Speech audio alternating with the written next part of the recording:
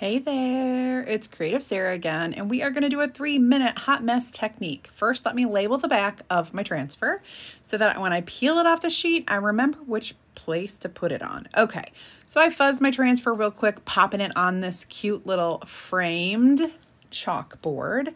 And like how the screen print right there is open, there's a lot of screen, so we're going to use a lot of chalk. So look at all my colors. Spring has sprung, you guys. Look at all these beautiful colors.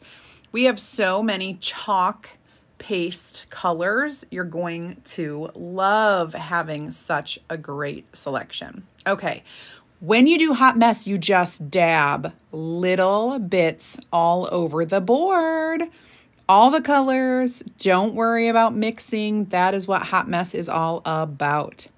Then, after you get it all, look at that mess.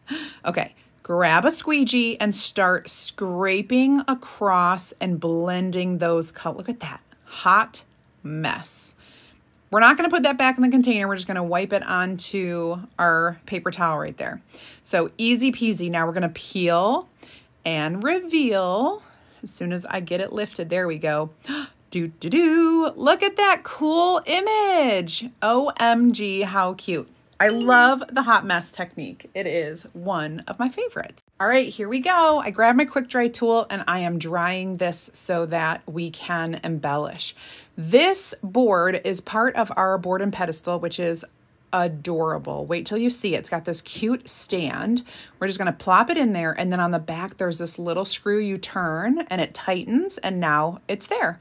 So it's so cute to embellish this pedestal that we have to do it right away. I have cut strips of gorgeous spring colored ribbon, four to five inches each, gathering them in my hand. And I'm just going to tie that string around those ribbons to make my embellishment. When this is done, it is going to be the cutest thing ever. Make sure you follow me for more ideas and definitely check out creativesarah.com.